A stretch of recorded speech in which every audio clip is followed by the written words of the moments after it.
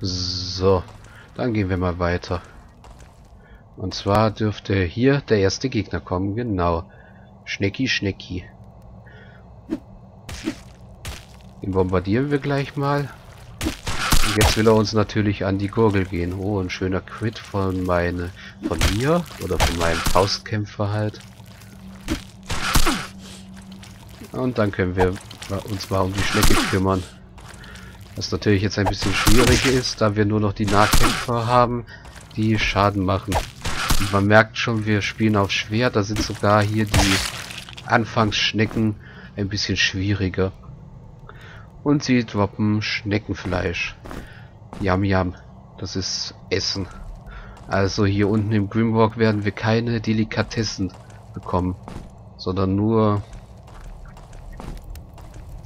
irgendwelche ollen Schneckenstücke oder andere super tollen Sachen. Jetzt gucke ich mich mal kurz hier um, ob die Schnecke noch was bewacht hat, außer diesem Stein.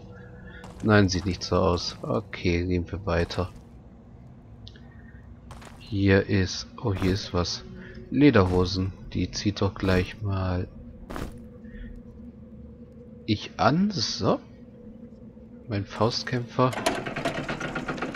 Und dann gehen wir hier durch die Tür. Und da sind schon noch mehr Schnecken. Und eine Schriftrolle für Eisst Eissplitter. Das passt ja genau, weil wir haben ja eine Eismagierin hier. Ja, genau. Dann kann ich gleich mal das System für die Magie erklären. Und zwar haben wir hier insgesamt neun Runen und jede Rune hat eine Bedeutung. Ja, ich gehe mal etwas weg, nicht dass die Schnecken auf die Idee kommen, uns hier bei der Erklärung zu stellen. So.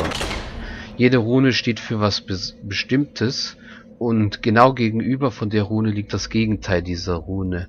Also in der Mitte ist die neutrale Rune, die für Gleichgewicht steht. Hier ist Feuer und dann ist hier Eis. Das ist Luft, das ist Erde, Leben und Tod, Körper und Geist. Äh, Geist und Körper. So, und wir sehen die äh, Rune für Eiskrist für die Eiskristalle ist Erde und, Ei und äh, Eis. Genau. Oh, und da fällt mir gerade auf, da ist äh, sogar eine Neuerung drin. Wenn man den, wenn man die Rolle benutzt, kriegt man eine Willpower. Hm, also, wenn ich das jetzt mal rollenspieltechnisch betrachte, wir berühren die Runen auf dem äh, Pergament und dadurch geht der, der Zauber, der auf dem Pergament geht, auf uns über. Wir haben gerade unsere Magierin angewählt, also kriegt sie jetzt ein Willpower mehr. So. Ja, schön, bin mal gespannt, was die anderen Schriftrollen so haben. Aber jetzt haben wir schon mal unseren ersten Zauber. Und den lösen wir auf, indem wir hier drauf drücken. Und da sieht man schon, Schneckis kriegen Schaden. Und das geht sogar durch die Schneckis durch und schädigt die Schnecke dahinter.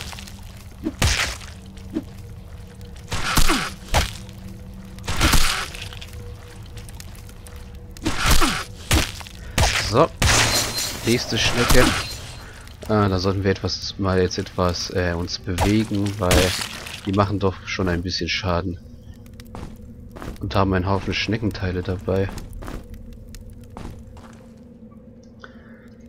Ja, wie man sieht, das verbraucht schon ziemlich viel mag magische Kraft. Die Eisscharts, die Eiskristalle zu zaubern. Hier brauchen wir einen Schlüssel.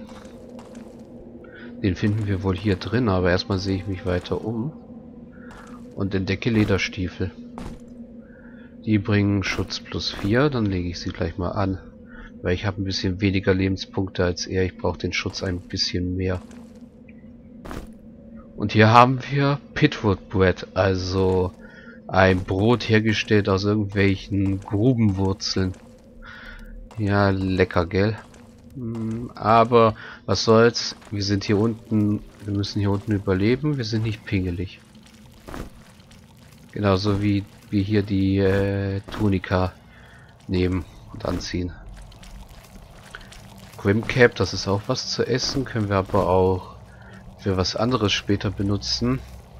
Wenn mir das Rezept noch einfällt, also das erkläre ich später, für was die Kräuter und die Rimcaps da sind. So. Gehen wir mal hier weiter. Ah, hier ist der Schlüssel. Da müssen wir jetzt erst einmal hier rein. So. Hier steht, to close the pit, something needs to fly. Also, um die Grube zu schließen, muss etwas fliegen. Also lassen wir mal etwas fliegen.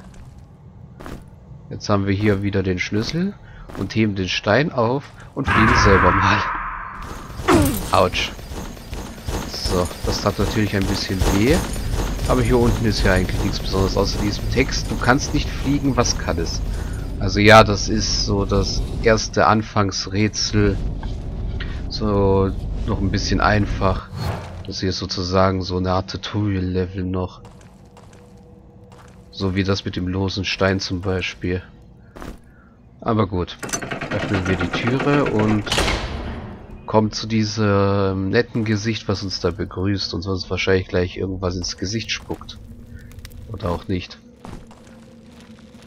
Hier ist die Tür weiter und hier steht, heile meine Sicht. Also hier müssen wir was in die Augen reintun.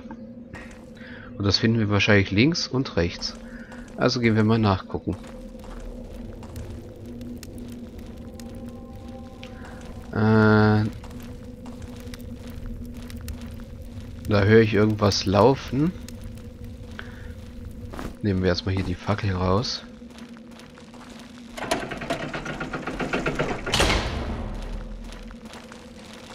Und ja, Riesenpilze.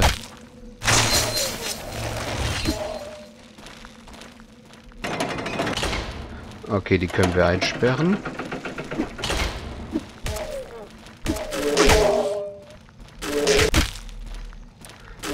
nein.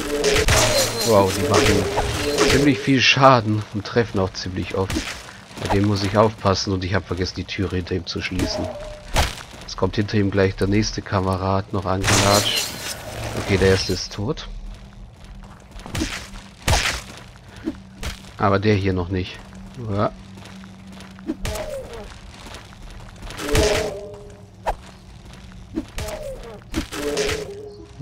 Müssen wir vorsichtig sein, aber hier haben wir ja genug Platz, um ihn etwas auszutricksen und wir haben keine Energie mehr für einen Zauber.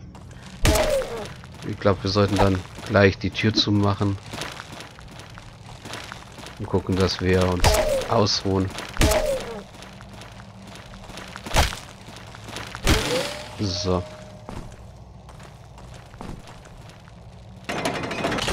Gut, Tür ist zu. Zwei Steine haben wir wieder.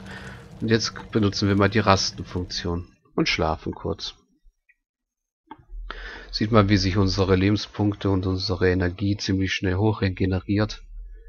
Was auch der Sinn vom Schlafen ist. Aber während wir schlafen... Oh, das ist auch neu.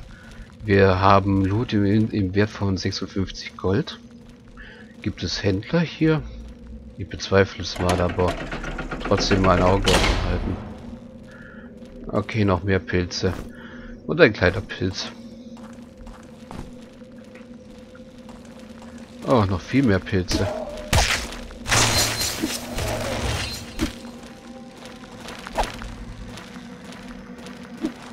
Uns nicht einkesseln lassen, das wäre ungesund.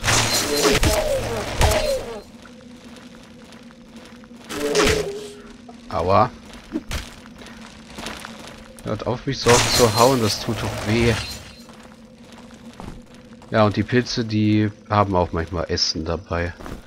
Da können wir Pilze essen, auch wenn ich nicht weiß, ob die nicht vielleicht doch ein bisschen giftig sind. Und da haben wir noch einen Kandidaten. Das wird dann hoffentlich der letzte Pilz. Wir sind immer noch out of energy. Oder schon wieder. Ja, Eis, der Eisschatzauber verbraucht am Anfang ziemlich viel Mana. Aber wir haben ja zum Glück die Nahkämpfer, die ordentlich draufkloppen können. Vor allem der Faustkämpfer macht gerade am Anfang ziemlich guten Schaden. Okay, das war's mit den Pilzen hier erstmal, so wie es scheint. Und hier haben wir eine gebackene Made am Stock. Ja. Ich sag ja, das Essen hier ist lecker. Und der Hebel hier müsste hier die Tür aufmachen, genau. Hier ist ein ähm, Tattered Cloak, also ein zer ein löchriger Umhang, der macht Ausweichen. Deswegen kriegt den gleich mal mein Faustkämpfer hier. Und hier haben wir schon den ersten Edelstein, den wir in die Augen tun müssen. Und noch ein Knopf. Wenn ich mich recht erinnere, macht er hier eine Wand auf. Genau. Hier ist ein Dolch drin. Der ist Attack Power 7, Attack Power 5. Ah, der ist schon besser. Dann bleibt das Buttermesser mal hier. Und wir sammeln die Kräuter hier noch auf. Ja, irgendwelche unbekannten Kräuter aufsammeln. Noch wissen wir nicht, was sie machen. Noch haben wir auch keine Verwendung für sie. Und seht ihr, die Fackel geht langsam aus, deswegen tauschen wir sie auch. So. Gucken wir mal, setzen wir gleich mal den ersten blauen Edelstein ein. Gehen jetzt auf die andere Seite. Und haben Schnecken. Mit den Schnecken können wir was Tolles machen. Nämlich das hier. Wir können einfach auf ihn drauf landen und ich merke gerade, dass mein äh, Faustkämpfer kurz davor ist zu verrecken. Hä? Geh sterben. Wow. So. Schneckenteile einsammeln. Steine einsammeln und ich höre schon was Garstiges hier rumlaufen. Nebenbei, wo ist die Schurike eigentlich abgeblieben? Die muss ich nachher suchen gehen. Und eine Peasants Cap. Macht ein bisschen Schutz, deswegen wird sie auch aufgesetzt. Und schlafen wir mal kurz hier unten. Hier scheinen wir ja sicher zu sein. Die Tür ist zu, die da drüben ist. Und die kriegen wir, glaube ich, von der Seite auch gar nicht auf. So. Ja, da ist der Hebel für die Tür. Also müssten wir auf die andere Seite kommen. Und jetzt muss ich mal kurz zurückgehen und die Schuriken, Schurike suchen. Die müsste ja hier irgendwo geblieben sein.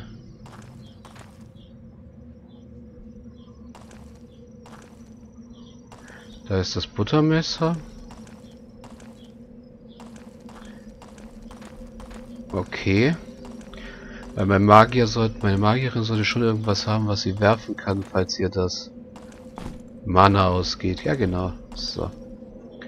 Gleich mal wieder einen Zauber für sie vorbereiten.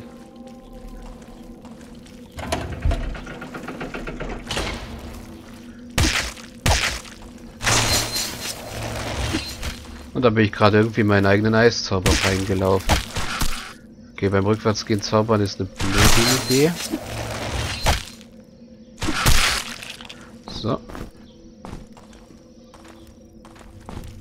Und die Tür geht nur auf, wenn wir die Platte betreten. Aber die Schnecken da drin lasse ich erstmal. Weil hier sind noch andere Schnecken, die erstmal meine Aufmerksamkeit bedürfen. Ja, komm, Schnecki. Und wir sind schon wieder out of Energy. Und haben unser erstes Level ab. Das ging aber schnell. Aber erstmal gucken wir uns kurz hier um. Sammeln noch einen Stein auf. Und finden ein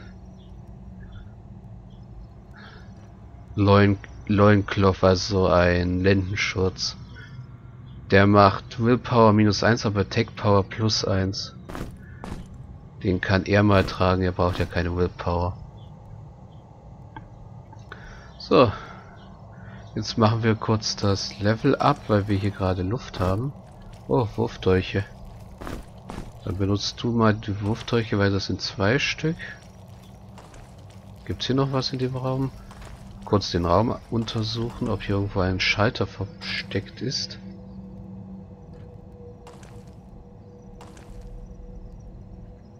Nö. Okay. Machen wir jetzt mal das Level ab. Und zwar fangen wir bei mir an. Wir haben ja alle drei das Level, alle vier das Level ab gleichzeitig gekriegt. Äh, ja. Ich würde ja jetzt gern was... Naja gut, geben wir erst einmal die vier Punkte in Armor. Oder ne, geben wir zwei Punkte in Armor. Und zwei Punkte in Unarmed Combat, also in waffenlosen Kampf. Bei ihm dasselbe. So. Sie kann jetzt erstmal bei Dodge bleiben. Noch ein Level, dann bis zum nächsten Level überlege ich mir, ob ich sie auf Missile Weapons, also auf Schusswaffen oder auf Wurfwaffen skille, weil das einzige, was ich noch anbieten würde, wäre Assassination. Dann können sie sie auf Level 12 mit Dolch von hinten aus angreifen. Was ich aber nicht so praktisch finde, weil da müssten wir auch Dolche äh, verbessern und das ähm, geht sich da nicht so richtig aus. So. Sie kriegt jetzt auf jeden Fall mal 5 Punkte in Spellcraft. Jetzt kann sie nämlich die beiden Zauber. Gut. Und beim nächsten Level up kriegt sie dann einen Punkt hier rein, dann hat sie einen mehr Energie und die anderen drei hier rein. So. Das war das Level up. Und dann würde ich sagen, bevor wir weitermachen, speichere ich hier erst einmal wieder und dann sehen wir uns gleich wieder.